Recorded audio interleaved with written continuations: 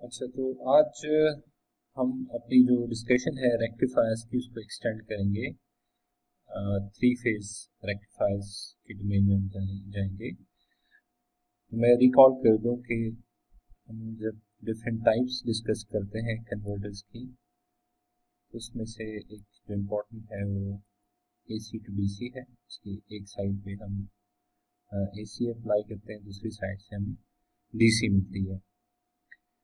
तो A C to D C converters हमने classify किया कि हमारे पास हो सकते हैं कंट्रोल्ड या अनकंट्रोल्ड हो सकते हैं हमारे पास। कंट्रोल के केस में हमारे पास पैरिस्टर या एससीआर यूज़ करते हैं हम और इसकी आउटपुट जो है वो एडजस्टेबल होती है, जबकि अनकंट्रोल के केस में हमारे पास डायोड होते हैं और इसकी जो आउटपुट है वो एडजस्टेबल नहीं होती। अब फर्दर हम एक रेक्टिफायर को क्लासिफाई कर सकते हैं इसकी इनपुट के बेस के ऊपर। जो इनपुट है, वो अगर सिंगल फ़ेज़ है तो हम इसको एक सिंगल फ़ेज़ रेक्टिफायर कहेंगे।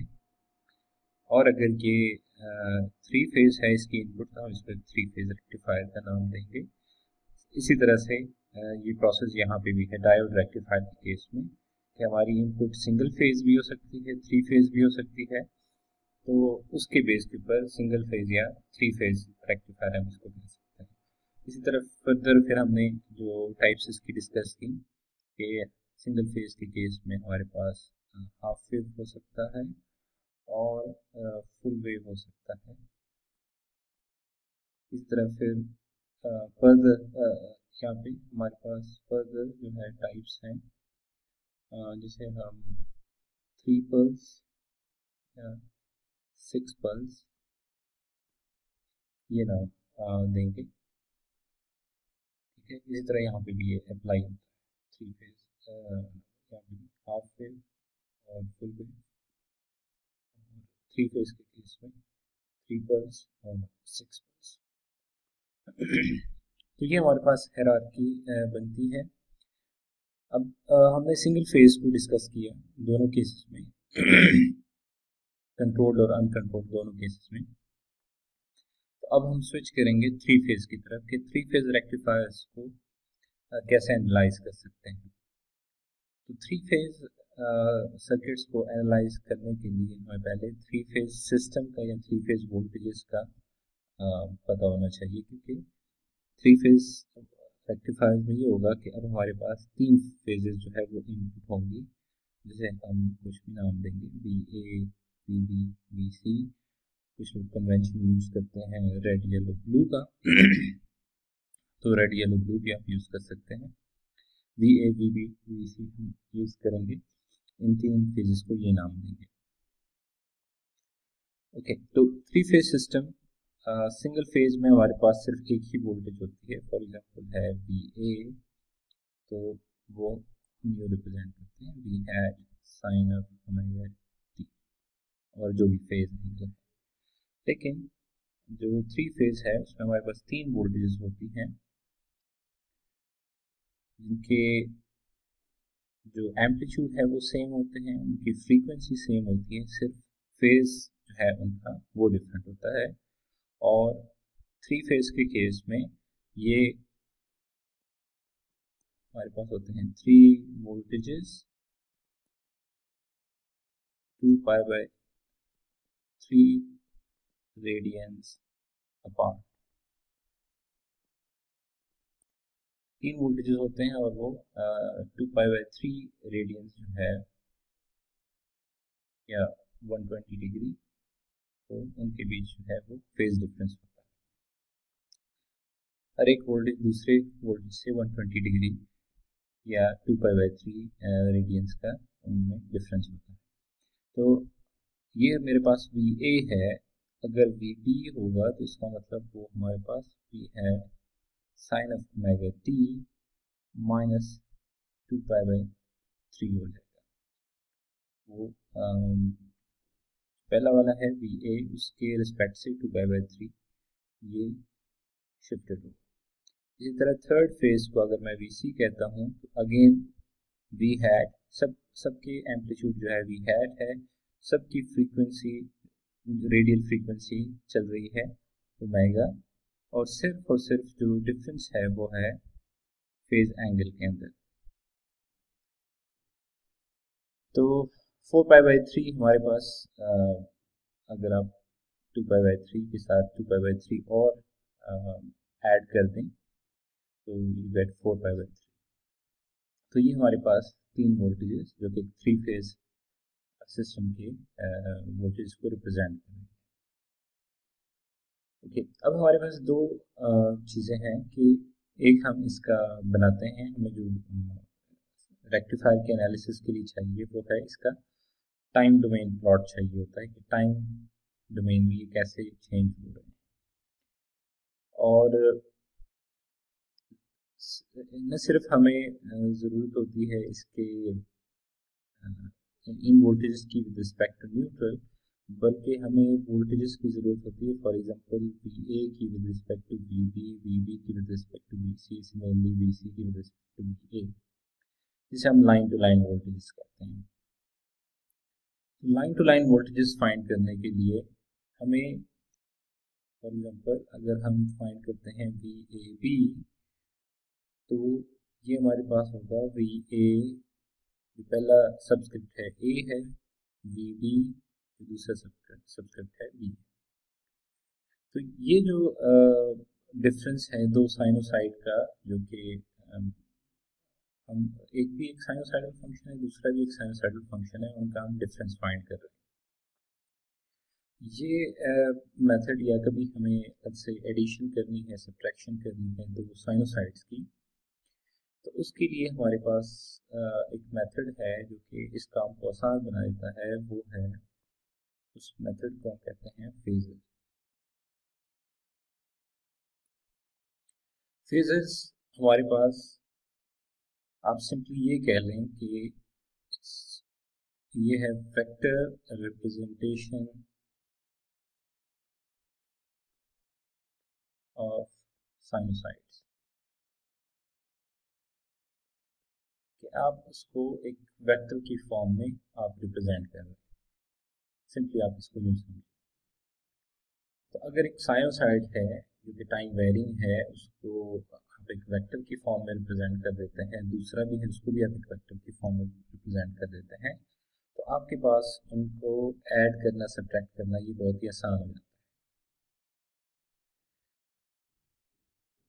तो वेक्टर रिप्रेजेंटेशन है साइनोसाइड का, और लेट्स से किसी भी अब इसको रिप्रेजेंट कर सकते हैं एक कम्प्लेक्स प्लेन के अंदर रियल और इमेजिनरी प्लेन है आपके पास। इसके अंदर आप रिप्रेजेंट कर सकते हैं। तो जैसे ये हमारे पास एक साइनोसाइड है तो ये टाइम के साथ वेरी हो रहा है। इसका मैग्नीट्यूड है है sine of omega t and uh, minus maybe plus theta. तो हम इसको यू रिप्रेजेंट कर देते हैं इसकी वेक्टर रिप्रेजेंटेशन यू कर देते हैं कि इसको मैं वी एक्स और ऊपर एक एरो बना देता हूँ कि मतलब ये इसकी वेक्टर रिप्रेजेंटेशन है। और हमें चाहिए होता है इसका एम्पलीट्यूड और दूसरी चीज़ जो हमें चाहिए वो है इसका एंगल तो हम यहाँ पे इसको कॉम्प्लेक्स प्लेन में इस तरह से प्रेजेंट कर देते हैं कि एट एंगल थीटा इसका जो एम्पलीट्यूड है वो है पी हैट अब ये आ, जो ये जो कन्वेंशन है वेरी कर सकता है. फॉर एग्जांपल आप वी हैट की जगह जैसे V R M S use कर सकते हैं। वी आर एम एस जो है लेकिन जो एक वोल्टेज के लिए जो कन्वेंशन आप यूज़ करें वही आप जो है आगे फॉलो करें बाकी सब के लिए। आ, मतलब मिक्सअप ना करें कहीं पे जो है पीक वैल्यू कहीं पे आर एम एस वैल्यू तो इसको मिक्सअप नहीं कर सकते। क्योंकि जब इनको मैनिपुलेट करेंगे एड सब्ट्रैक्ट तो ये चीज़ें मिक्सअप हो जाएँगी। ओके अब होता ये है कि इन रियलिटी के असल में ये जो हमारे पास यहाँ पे ये है लग से इमेजिनरी पार्ट ऑफ़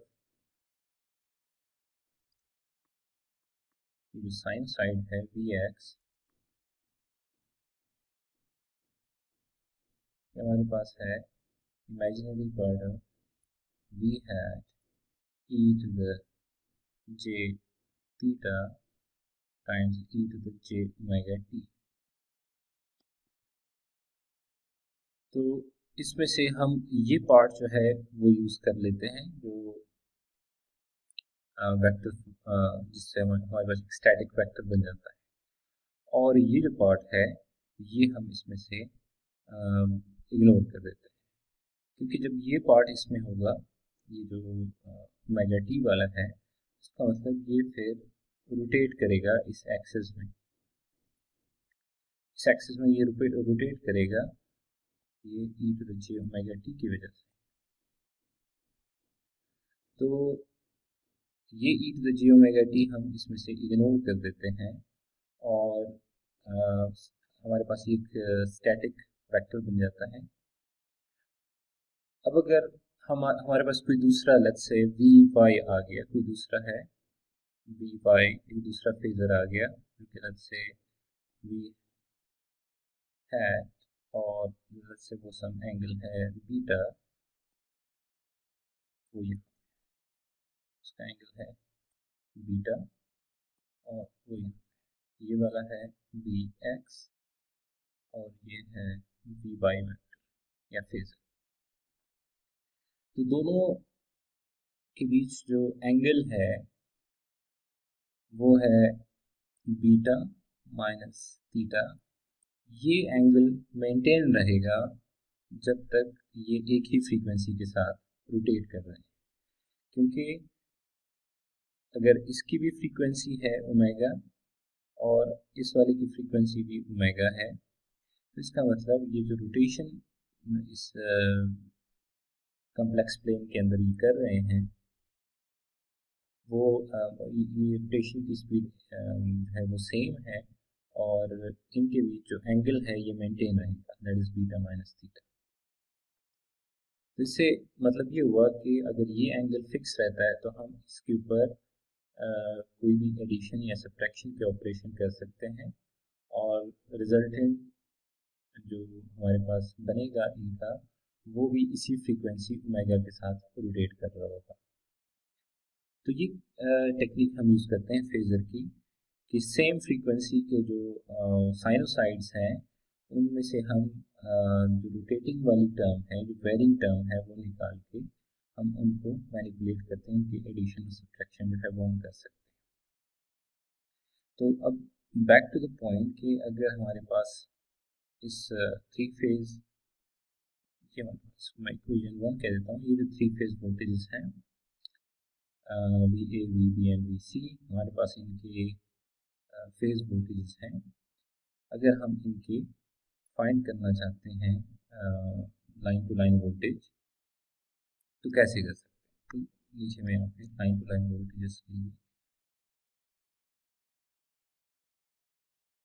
यहाँ पे हम लिख सकते हैं। तो it's V A minus V A B अगर मैं करना चाहता हूँ it's V A minus V B और अगर मैं वी बी सी करना चाहता हूँ तो that is V B minus V C और सिमिलरली अगर मुझे फाइंड करना है V C minus V C A तो यहाँ पे आएगा V C minus V A अब ये सब्ट्रैक्शन हमारे पास आसान हो जाएगी। अगर हमारे पास ये जो वोल्टेजेस हैं V A V B and V C ये फेज़र की फॉर्म में अगर आ जाए तो फेज़र की फॉर्म में यहाँ पे हम लिख देते हैं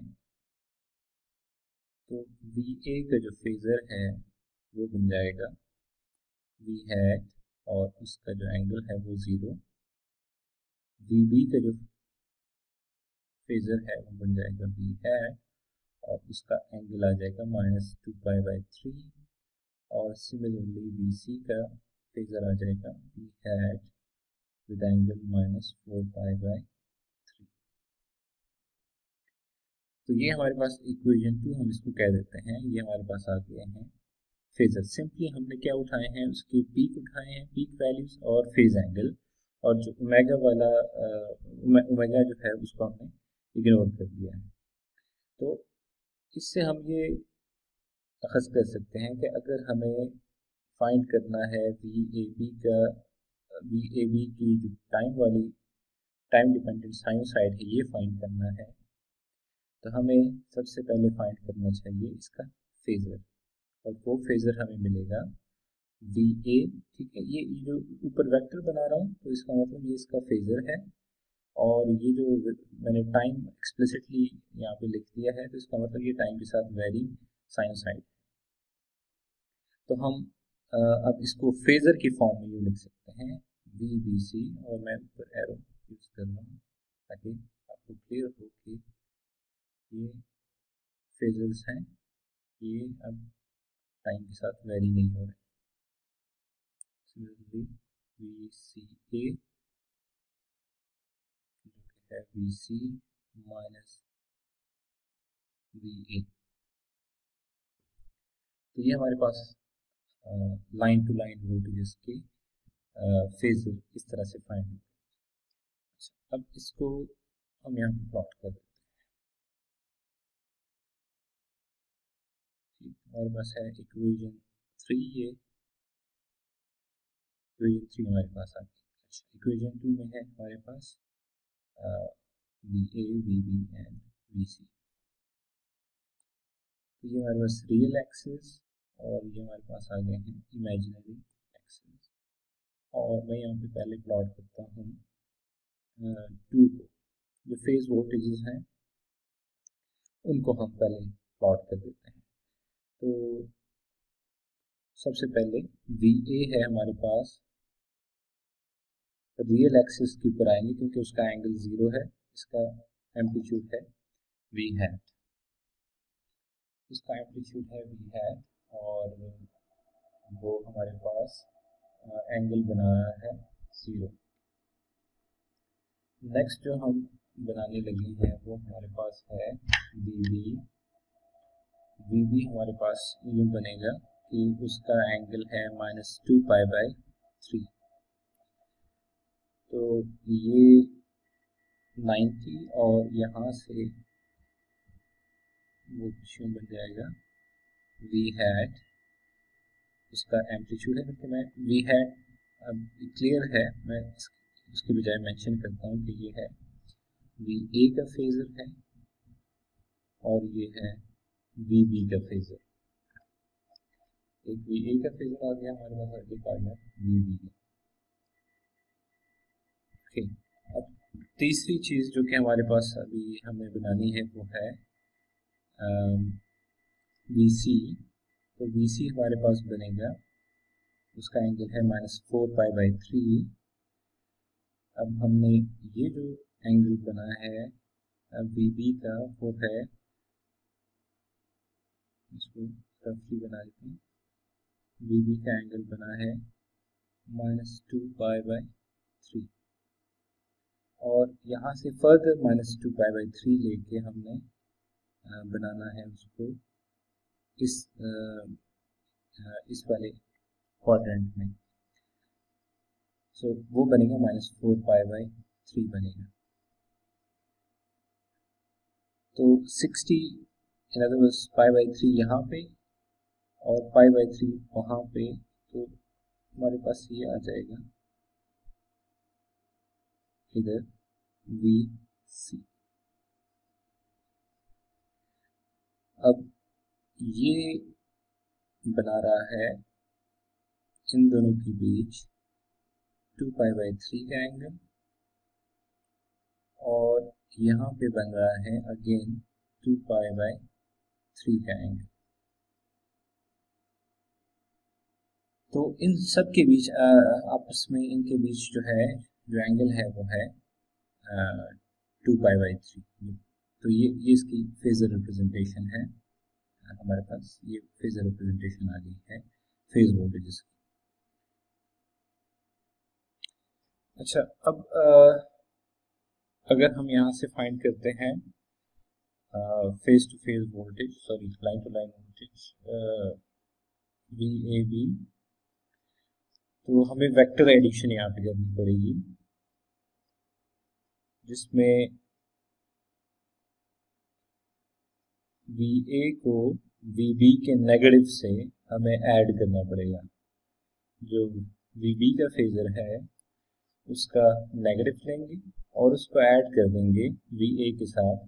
तो ये हमारे पास आ जाएगा वी ए बी और जब वोल्टेज का मैग्नीट्यूड और एंगल हमारे पास आ जाएगा, वो फिर हम फाइनली कंस्ट्रक्ट कर देंगे उससे जो हमारे पास लाइन टू लाइन वोल्टेज तो ये हमारे पास जो वीबी है, इसको अगर हम फ्लिप कर दें।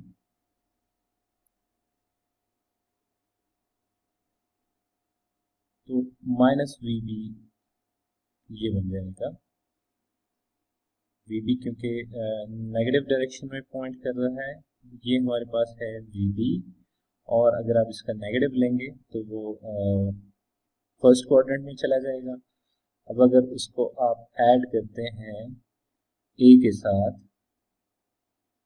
तो ए के साथ ऐड करने से वो यहाँ पे आ जाएगा। ये है माइनस वी बी आपने ड्रॉ किया वी ए के हेड से, या आप ड्रॉ कर सकते हैं V A V minus V B के हेड से, और आपके पास जो रिजल्टेंट है, वो ये आ जाएगा, जिसे हम कहेंगे V B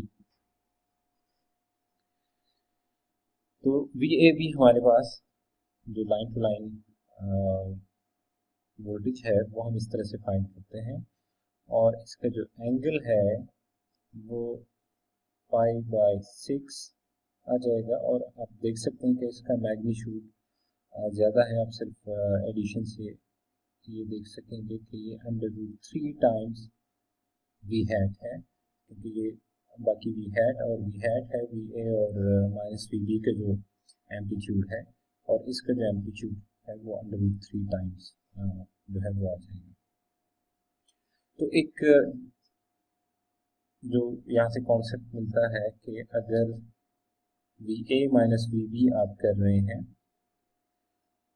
V A minus V B से आपको मिलता है V A B as a function of sorry, पहले इसका फेजर लिख लेता हूँ। वी ए बी वो है under root three times V है उसका मैग्नीट्यूड या एम्पलीट्यूड और उसका जो एंगल बना है वो है फाइव बाई सिक्स तो अगर आप इसमें से साइनोसाइड बनाते हैं मतलब टाइम वेरिंग के क्या बनेगा, इनका जो डिफरेंस है तो बनेगा under root three times V hat sine of omega t plus pi by six ये इस तरह से बन जाएगा। इसी तरह हम जो बाकी है वो भी फाइंड कर सकते हैं। आ, बाकी के से या पहले अगर हम फाइंड करते हैं से वी बी ए अगर हमें फाइंड करना पड़ जाए। अब अगर हमें वी बी ए फाइंड करना पड़ जाए तो इसका मतलब ये होगा कि हमारे पास जो वी ए है, इसको नेगेटिव करना है हमें फिर। उसका नेगेटिव हमारे पास आ जाएगा यहाँ पे।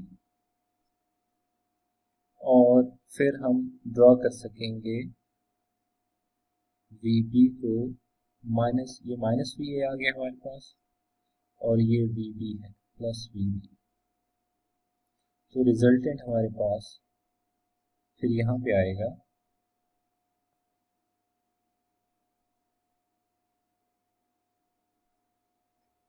और उस केस में वी बी ए को हम सिंपली लिख सकते हैं कि वो है under root three times V hat और इसमें और वी ए बी और वी बी ए में सिर्फ़ फ़र्क क्या है कि इनमें 180 डिग्री का डिफरेंस है। ये है वी ए बी और ये वाला जो वेक्टर है, ये है वी बी ए इसका मतलब इस, इनमें 180 डिग्री का फ़ेज़ डिफरेंस है। तो सिंपली आप लिख सकते हैं कि ये है minus five pi by six ठीक है? फाइव बाई सिक्स में से आप अगर फाइव सब्ट्रैक्ट करते हैं तो आपको मिलेगा फाइव फाइव बाई सिक्स और आप इसका जो वी डी ए का जो साइनोसाइड बनेगा, उसको आप लिख सकते हैं। Under root three times V hat sine of omega t minus five five by six तो ये हमारे पास सिचुएशन आ गई बी ए बी और बी बी ए की अब अगर हम फर्दर जाते हैं से फाइंड करते हैं voltages VCA and the others VBC तो VBC हमारे पास होगा VB माइनस VC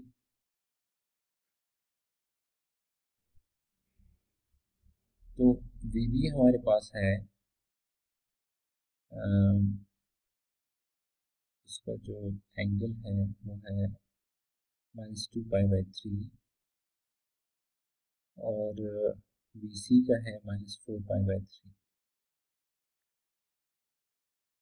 यहाँ से आप आप हर एक को इंडिविजुअली अटैम्प्ट कर सकते हैं। ये मैं दोबारा से बना देता हूँ। आप हर एक को इंडिविजुअली भी कर सकते हैं, लेकिन इससे आपको ये अंदाज़ा हो जाएगा कि आप एक पैटर्न इसमें से आपको मिल जाएगा यहाँ से आगे, और बाकी आप डायरेक्टली एस्टिमेट कर पाएँगे।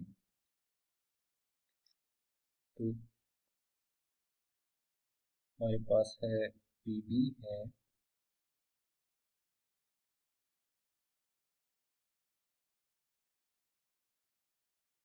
बी है यहाँ पे, जो कि एंगल बना रहा है टू फाइव बाई थ्री और बी सी जो है वो है यहाँ पे।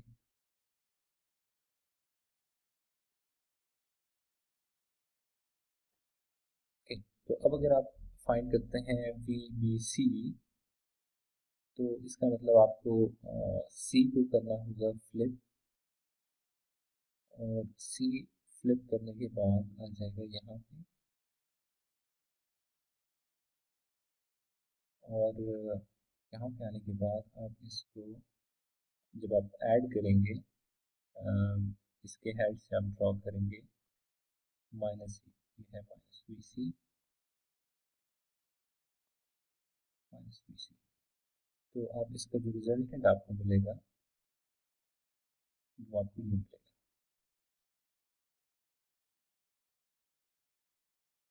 तो इसका मतलब ये हुआ कि हमारे पास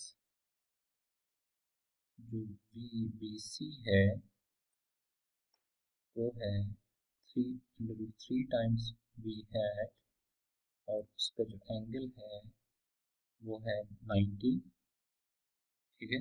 वो है माइनस नाइन्टी या आप उसको लिख सकते हैं माइनस फाइव बाई टू पहले अब अगर आप इसको, मैं बी बी ए को मैं बीच में से अगर निकाल दूँ तो बी ए भी हमारे पास जो एंगल बना रहा था, वो था फाइव बाई सिक्स नेक्स्ट जो बी बी सी ने बनाया वो है माइनस फाइव बाई टू और अगर हम फर्दर बी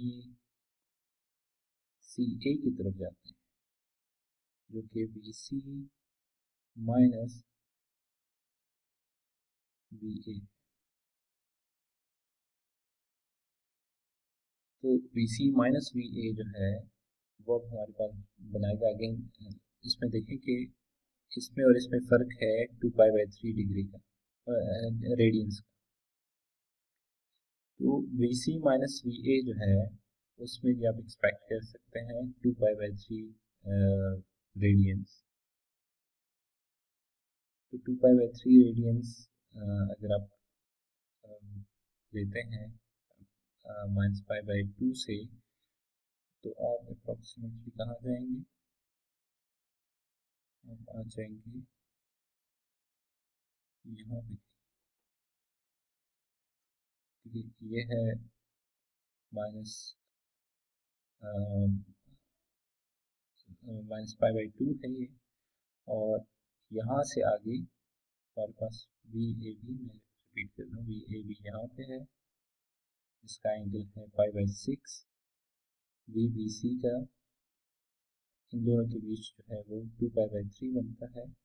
इस तरह वी बी सी और वी सी ए जो है, इनके बीच भी होगा one twenty degree phase difference तो ये ये जो एंगल है ये होगा इनके बीच होगा टू पाई बाई थ्री तो आप सिंपली फाइंड कर सकते हैं कि पाई बाई टू में से माइनस पाई बाई टू के साथ आपने further minus two pi by three कर दिया। तो ये आप एस्टिमेट कर सकते हैं, you get six minus three pi minus four pi minus 7 pi by 6 so under root 3 we had minus 7 pi over 6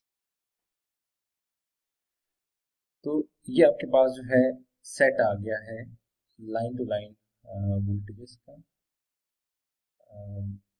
तो हमारे पास वो था पहले फ़ेज़ वोल्टेजेस थे, उसमें से हमने यूजिंग फेजर जो है डिराइव कर लिए हैं। कि वोल्टेज मैं अभी यहाँ पे रिपीट कर देता हूँ कि हमारे पास एक्चुअली फाइनल सेट जो है वो क्या बना है। ताकि ये चीज़ जो है वो क्लियरली मेंशन हो जाए। तो हमारे पास वोल्टेजेस थे फ़ेज़ वोल्टेजेस थे पहले। P A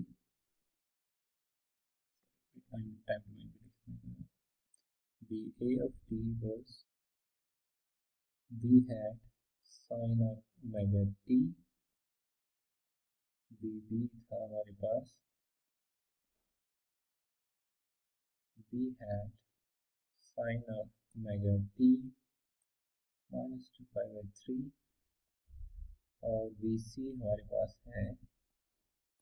We had sin of omega t minus four pi by three ये हमारे पास है लाइन टू लाइन फ़ेज़ अब लाइन टू लाइन वोल्टेज के लिए हमारे पास जो हमने फेजेस के ज़रिए मैनिपुलेशन की उसमें जो हमारे पास रिज़ल्ट आया है, सबसे पहले बी ए बी ये एक सेट बन गया फ़ेज़ वोल्टेज का line to line voltage B A B हमारे पास है under root three times V had sine of mega T plus five by 6 v bc is under root 3 we had sine of omega t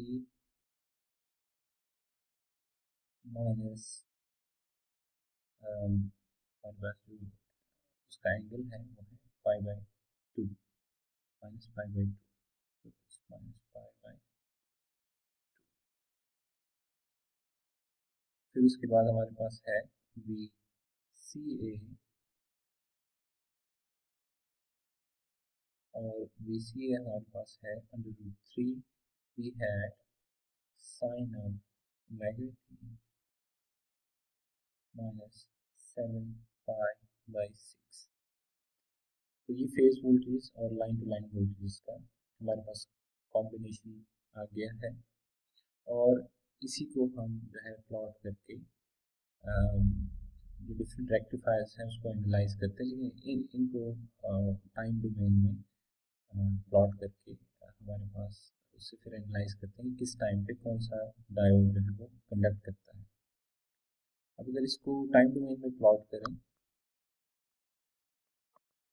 तो time domain में plot करने के लिए मैं यहाँ पे एक्सेस बना देता हूँ।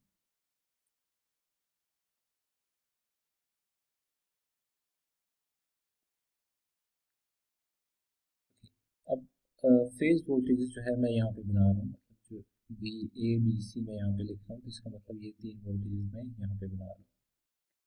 और ये जो फ़ेज़ एंगल है यहाँ पे जो फ़ेज़ एंगल का जो डिफरेंस है टू पाई बाई थ्री का, इस हिसाब से हमारे पास जो सूट करता है जो सूट करता है वो ये कि हम पाई बाई थ्री के सेगमेंट्स रखें। Pi by three, two pi by three मतलब मैं एक सेगमेंट जो है पाई बाई थ्री या सिक्सटी डिग्री का जो लेंथ है उसकी मैं वो रख रहा हूँ। और जो नेक्स्ट है वो है पाई। सिंपली आप देखें तो यहाँ पे वन है, यहाँ पे नेक्स्ट टू और यहाँ पे थ्री पाई बाई थ्री है जो कि पाई बन गया। Sorry three pi by three तो इसका मतलब अगर आगे बढ़ते हैं तो यहाँ पे four pi by three five five by three six five by three जो कि टू पाई बनता है, लेकिन मैं चलें 6 pi by 3 and similarly 7 pi by 3 8 pi by 3 तो pi by 3 के सेगमेंट्स जो हैं, वो हम, हमने बना दिए पे। अब सबसे पहले प्लॉट करते हैं। वी ए तो वी ए को हम प्लॉट करते हैं ग्रीन से। तो ज़ीरो से स्टार्ट होगा क्योंकि उसका फ़ेज़ एंगल ज़ीरो है। और क्योंकि ये पाई बाई थ्री का इसकी लेंथ है तो तीन सेगमेंट्स जो है वो बना के पाई बनाते हैं, ठीक है? तीन सेगमेंट्स पाई बनाते हैं तो आप सिंपली ये समझ लें कि दो सेगमेंट्स को छोड़ के तीसरे के ऊपर आपका हाफ़ साइकिल जो है वो एंड हो जाएगा।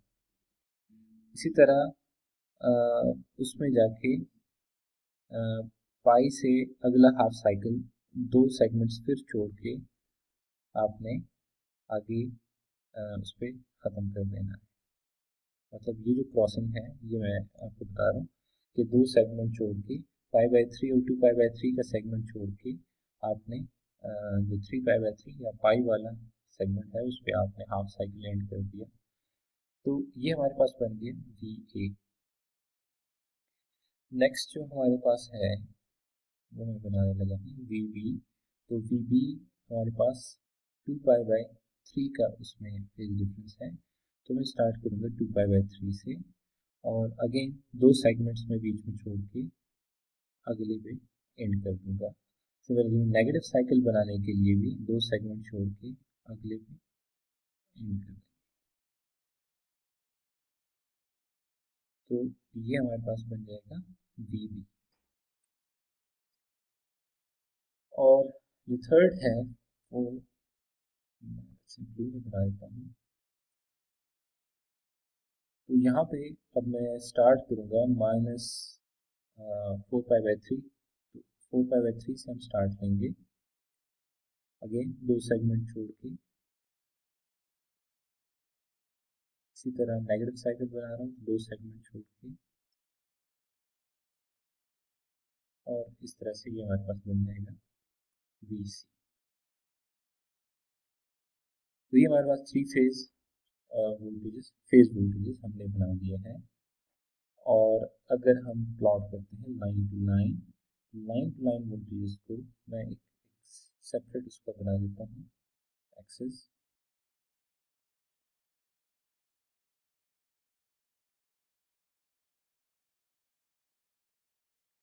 ये हमारे पास एक सेपरेट एक्सेस मैंने बना दिया, जिसपे मैं प्लॉट करना चाहता हूँ line to line voltage like V A B B B C B C A ये मैं प्लॉट करना चाहता हूँ। तो यहाँ पे एक इंपॉर्टेंट चीज़ ये है कि यहाँ पे हमारे पास जो एंगल है फाइव बाई सिक्स है सेवन फाइव बाई सिक्स है। अब ये जो सेवन फाइव बाई सिक्स हो गया, ये फाइव बाई टू है, इसको भी अगर आप, इस फॉर्म में लिखते हैं फाइव बाई टू को अगर हम लिख सकते हैं थ्री पाई ओवर सिक्स हम इसको लिख सकते हैं। तो ये कंसिस्टेंट बन जाएँगे कि सब सब के अंदर सब जो है over six divide by six अब ये जो सेगमेंट है, इसके लिए हमें मतलब है डिफरेंट सेगमेंट्स बनाने पड़ेंगे, क्योंकि यहाँ पे हमने पाई बाई थ्री का जो डिफरेंस लिया है पाई बाई सिक्स इनके मिड में कहीं पे लाई करते हैं। तो ये एक चीज़ समझ लेते हैं।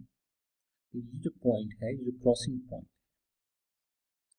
ये crossing point exactly mid point है। पाई बाई थ्री और ज़ीरो का, जिसे आप डिक्लेयर कर सकते हैं पाई बाई सिक्स सिमिलरली ये जो पॉइंट है, जो कि मिड पॉइंट है पाई बाई सिक्स और टू पाई बाई सिक्स का pi by three sorry pi by three और टू पाई बाई थ्री का जो मिड पॉइंट है, वो हमारे पास है थ्री पाई सिक्स इसी तरह ये मिड पॉइंट हमारे पास, ये क्रॉसिंग पॉइंट ये मिड पॉइंट है टू पाई बाई थ्री और थ्री पाई बाई थ्री का, जो कि है फाइव पाई ओवर सिक्स ये क्रॉसिंग है सेवन पाई बाई सिक्स अब ये देखें कि इनकी जो सेगमेंट की लेंथ है, वो भी exactly two pi by three बनती है। ये जो सेगमेंट लेंथ है ये सेगमेंट लेंथ भी पाई बाई थ्री है सा, सारे इक्वली पाई बाई थ्री है लेकिन सिर्फ़ मिड पॉइंट है इस वजह से इसमें सिक्स आ रहा है थ्री नहीं आ रहा हर एक में। तो ये जो क्रॉसिंग पॉइंट है इसी तरह ये बन जाएगा। नाइन पाई बाई सिक्स ये क्रॉसिंग पॉइंट बनेगा। इलेवन पाई बाई सिक्स और ये आखिरी पॉइंट भी लेबल कर देते हैं, ये बन जाएगा थर्टीन पाई बाई सिक्स अब इनका, इनकी जो लेंथ है, वो इवन होनी चाहिए एक्सेप्ट द फ़र्स्ट वन क्योंकि वो पाई बाई सिक्स है। बाकी सब की लेंथ जो है, वो इवन होनी चाहिए, लेकिन प्लॉटिंग में अन अनइवन बन गया, लेकिन इनकी इवन होनी चाहिए, क्योंकि सब का जो लेंथ है, वो सेम है। ओके अब मैं स्टार्ट करता हूँ कि बी सी से मैं पहले स्टार्ट कर लेता हूँ। बी बी सी से। और बी सी सी ए और फिर बी ए बी जो है वो मैं प्लॉट कर देता हूँ। तो सबसे पहले बी बी सी स्टार्ट हो रहा है। थ्री पाई बाई सिक्स से। थ्री पाई बाई सिक्स से वो स्टार्ट हो रहा है। तो थ्री पाई बाई सिक्स ये पॉइंट है। और अगेन उसी तरह करना है कि बीच में दो सेगमेंट्स जोड़ के अगले के ऊपर इसको एंड कर देना है। और फिर दो सेगमेंट छोड़ के इसी तरह एंड कर देना है। तो ये हमारे पास V A V B C ठीक है, ये हमने प्लॉट कर दिया। जो नेक्स्ट है वी सी ए वो हम इस तरह से प्लॉट करेंगे कि जो सेवन पाई बाई सिक्स है, वहाँ से स्टार्ट लेंगे। और सेवन पाई बाई सिक्स से अगेन दो सेगमेंट्स छोड़ के ये एंड हो जाएगा। तो ये है वी सी ए और इसी तरह नेगेटिव हाफ़ बनाने के लिए यहाँ से स्टार्ट लेंगे दो सेगमेंट छोड़ के यहाँ पे और यू बना देंगे ये वी सी ए और फिर उसके बाद हमारे पास जो रह जाता है वो है V A V V A V जो मैंने आखिर में छोड़ा, उसकी वजह ये कि इसका जो एंगल है, वो इसमें पॉजिटिव है, बाकी में नेगेटिव है, ठीक है? तो इसका मतलब ये होता है कि ये यहाँ कहीं से शुरू हो रहा है। यहाँ पे माइनस फाइव बाई सिक्स से ये स्टार्ट हो रहा है तो माइनस फाइव बाई सिक्स से प्लस फाइव बाई सिक्स, इसको आप एक सेगमेंट जो है वो आप ट्रीट कर सकते हैं। क्योंकि बाकी के जो सेगमेंट है वो उनकी लेंथ है फाइव बाई थ्री। एक एक और तरीके से आप इसको अगर करना चाहते हैं कि इसको नेगेटिव अगर आप बनाना चाहते हैं, क्योंकि बाकी सारी नेगेटिव है, सिर्फ़ ये एक एक का ही इशू है तो ये आपके पास है एंगल पाई बाई सिक्स तो दूसरी साइड से अगर आप इसको करते हैं तो ये बनता है minus eleven pi by six तो ये तरीका भी आप कर सकते हैं कि minus eleven pi by six जो है, फिर आपको पता चलेगा कि यहाँ से वी ए बी यहाँ से फिर और इधर आके कहीं पे एंड हो जाता है। It's VAB